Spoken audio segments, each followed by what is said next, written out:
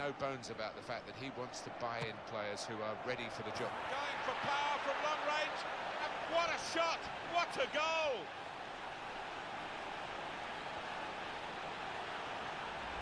Oh my word, I can't believe he's done that.